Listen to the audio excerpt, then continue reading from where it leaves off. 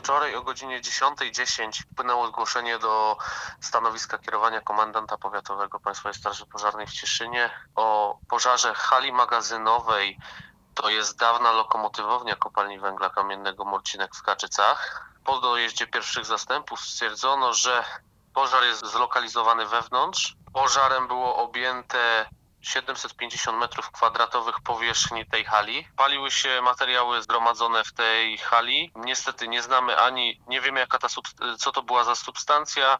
Yy, Nie znamy składu chemicznego tego, tej substancji. Po pomiarach przyrządami Państwowej Straży Pożarnej nie stwierdzono zagrożenia w powietrzu, a próbki wody z pobliskiej rzeki zostały pobrane przez Wojewódzki Inspektorat Ochrony Środowiska i w działaniach brało udział 40 zastępów Państwowej Straży Pożarnej i Ochotniczej Straży Pożarnej.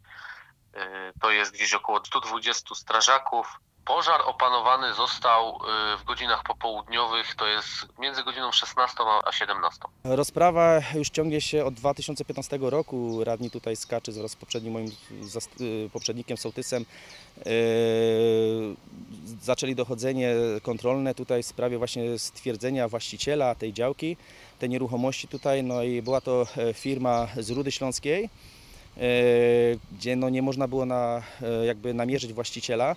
E, Prokuratura postawiła zarzuty. Obecnie toczą się postępowania w sądzie i postępowania no niestety nie, nie dochodzą do skutku, ponieważ no, nie, nie wstawiają się strony zainteresowane w sądzie i w dalszym ciągu co pół roku jest e, przekładana rozprawa sądowa.